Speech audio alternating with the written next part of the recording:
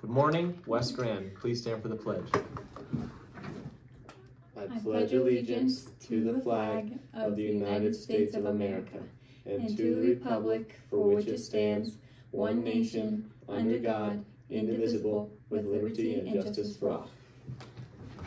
Today, the 27th. Uh, lunch today is chicken fajitas and crackers. Breakfast tomorrow is a benefit bar. There are no birthdays today. And good luck to volleyball tonight as they play in Summit. Mr. Miracle is accepting applications for the Henderson Experience Job Shadowing Program. This experience is a nine-week program which which will meet in the fall on Fridays, beginning September 13th. Mr. Miracle, see Mr. Miracle if you have any questions or if you want to sign up. The opportunity is limited to three West Grand students. Western Slope College Fair is October 6th.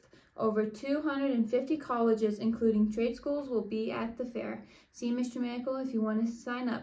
The deadline is September 4th for the applications for the Henderson Mine Experience. Future Business Leaders of America, FBLA, is starting soon. The first meeting will be held tomorrow, Wednesday, August 28th in Miss Winchester's room.